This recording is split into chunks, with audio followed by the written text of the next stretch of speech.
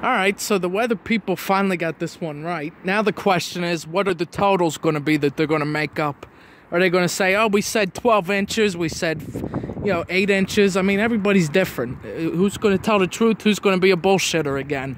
That's the real question. So, everybody, I hope you all stay safe.